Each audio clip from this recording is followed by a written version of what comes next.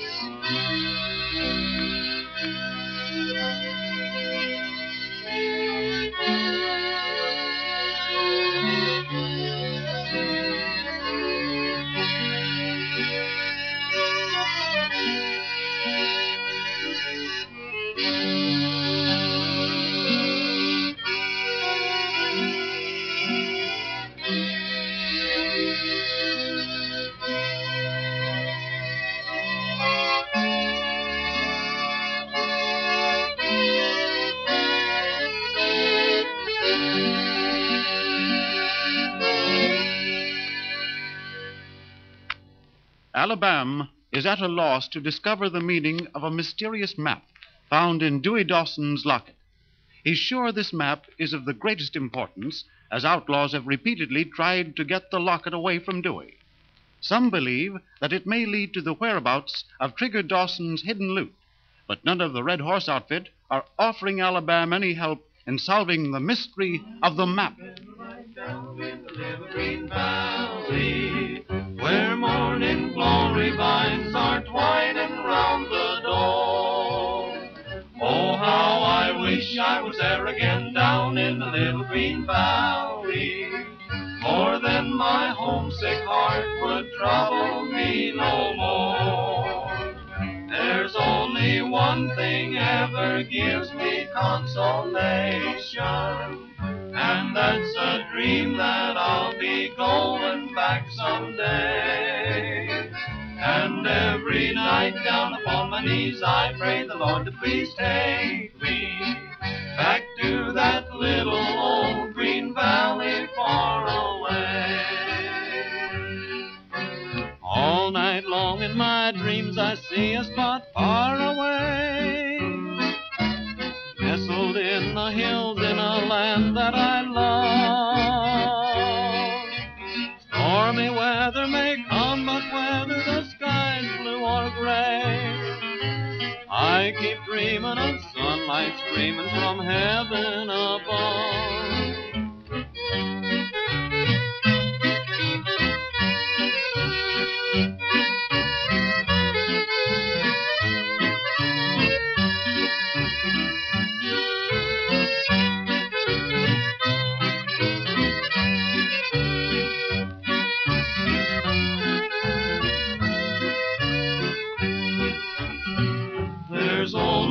One thing ever gives me consolation, and that's a dream that I'll be going back someday.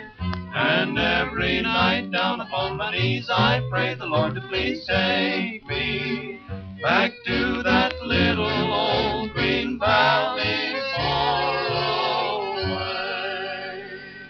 you longhorns, you, uh, cut out that singing and help me figure this thing out. You don't mean to say you're still working on that piece of paper you found in Dewey's locker, do you, Alabama? You bet your sweet life I am, Bob. The sooner we get this figured out, the sooner we get this mystery cleared up. Well, I give that up a long time ago. Anyhow, what could you do with a map that's tore half in two? What's that lettering at the top? Well, part of it's torn away, Tenderfoot. Yeah? The first half of two of those words are torn off. Well, it's funny to me that it doesn't say a thing about where the other half of this map can be found. No, there's no other writing on there that I can see, Tenderfoot. No, there isn't. Just the river and these cross marks and that lettering up there at the top. Uh, we'd better sing something to Alabama to keep him from going loco, boys. When I come home to smoke my long stem pipe, no one to call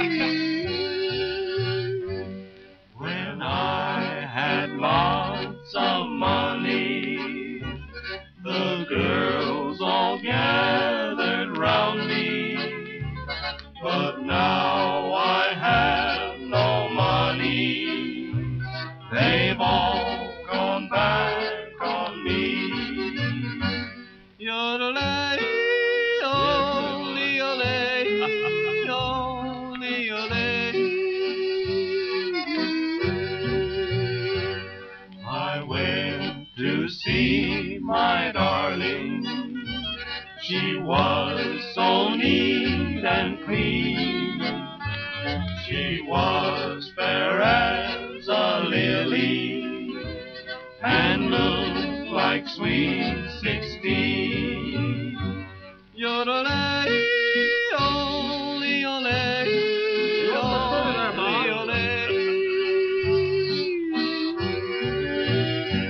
I asked her to marry me.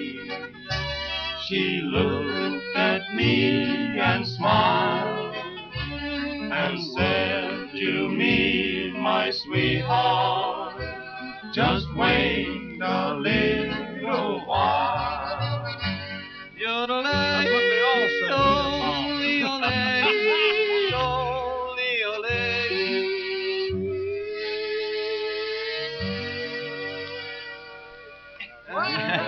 Say, look at Dewey there. He's sound asleep. Yeah, that boy's been through a lot these last couple of days. Pull his boots off for him, will you, Arizona? Sure. Lay still there, buddy. There ain't no outlaws after you now. Now, let's look at this map again.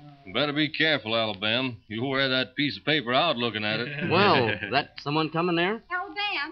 I got to see you right away. Oh, it's Rose.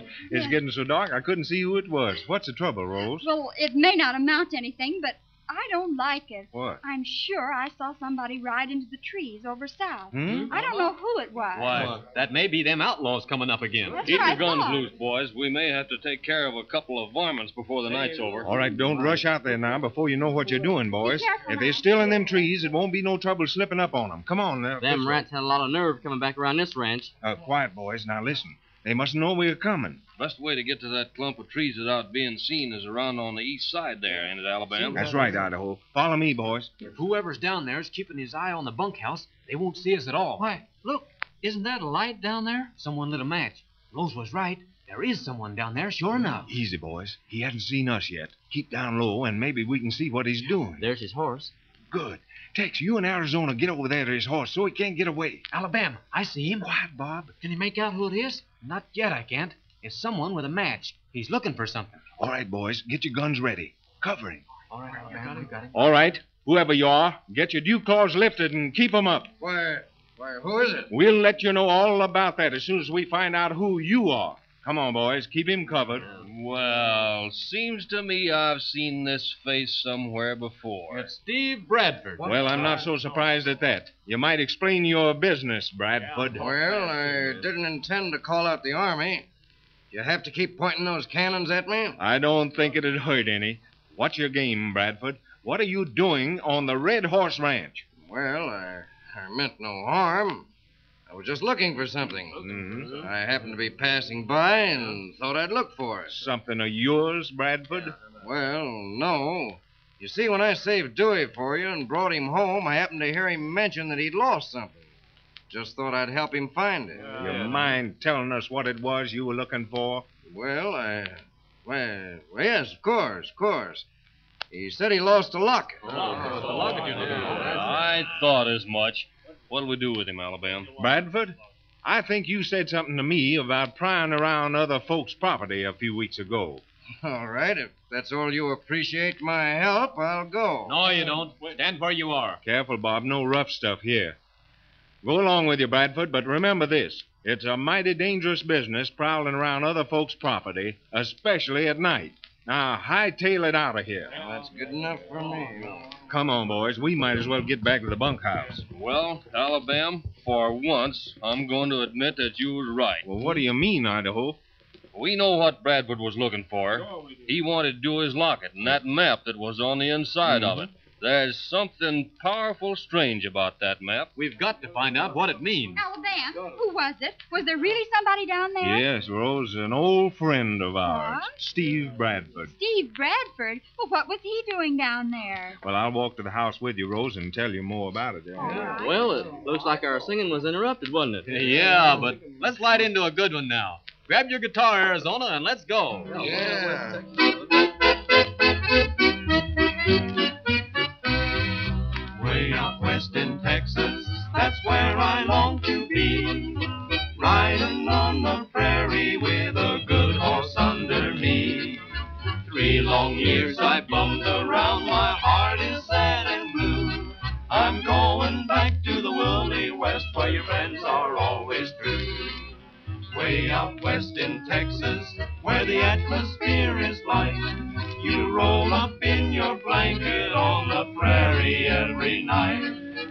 rattlesnakes and old horned toads sleep right by your side. On the desert sands of Texas, that's where I long to ride. Way out west in Texas, when they round up in the spring, you'll hear me sing this little song while riding on the range. Your Broadway lights appeal to you, but moonlight suits me fine. So settle down in Texas and leave Yeah, Well, are you back already, Alabama? Yeah, boys. Oh, let me get over here by this table, Bob. Sure, Alabama. Come I still think there's something about this map that we haven't noticed yet. I'm sure of that now, Alabama. There's got to be some way of us finding out where the rest of this map is. I think the same way you do, Idaho. Now, let's look here, man. Uh, you better light a lamp. It's getting dark. You got a match, Bob? Yeah, here it is. I'll light the lamp for you. Move the lamp over this way. Careful of that match, Bob. Hey, look out! Alabama, that map's on fire. Put it out, quick. Well, there it is. Don't worry, boys. It didn't burn none of it. Now, let's get a look here. Why, wait a minute. I thought you said there wasn't any other writing on it. Look there. What, that writing wasn't on there before? Bob, light another match quick. What in tarnation you talking about, Alabama? Why, it was the heat from that blaze that made this writing show up. That writing was invisible. Well... Hold that match now, Bob. Oh, not too close. Well, I'll be a ring-tailed coyote. There's plenty of writing on that map that we didn't see before.